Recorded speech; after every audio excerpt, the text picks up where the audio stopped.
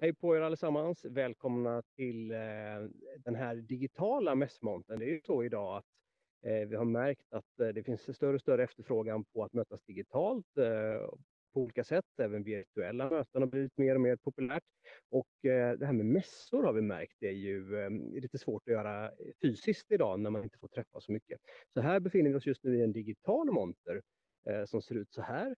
Och vid min sida så har jag Fredrik här som eh, kan mycket mer om vad man kan göra i en sån här monter. Berätta Fredrik.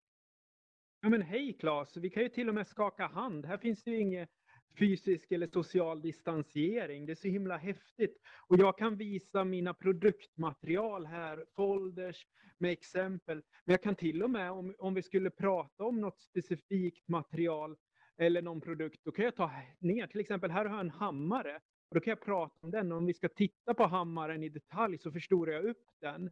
Och jag kan ha olika produkter i min monter. Här har jag lagt in till exempel en fläktaggregat. Eh, och det kan jag byta. Så ena dagen har jag det här, nästa dag har jag något annat. På en vanlig mässa så är det svårt att ta med hela produktsegmentet eller hela vår katalog. Men här kan jag ha olika objekt. Och så sen kanske jag ska prata med en såg. Ja men du Claes, ser du här min såg? Och så kan vi titta på den lite i detalj och förstora upp den så vi ser hur den fungerar. Och det här går ju att bygga upp flera montrar mest bredvid varandra. Nu har vi ju himmel här. Men det går ju att ha en hel eh, mässanläggning och då kan man få spontanbesök. Man behöver inte klicka på några länkar utan jag ser, ja men du, kom in här Claes. Kom och prata med oss. Jag har värsta coola sågen här. Så du får den här spontana interaktionen som missas mycket i Teams eller olika online-lösningar.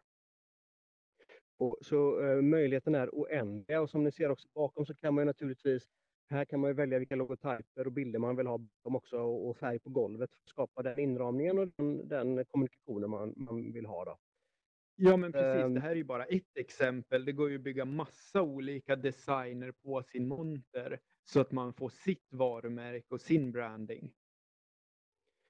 Så eh, om man är mer intresserad av detta och vill få lite inspiration och lite tips och hjälp på vägen hur man skulle kunna skapa en digital mässa så är man välkommen att höra av sig till oss på Visit Linköping och Company så ska vi eh, komma med lite tips och idéer. Snyggt! Ska vi göra en high five på det? Här. Snyggt!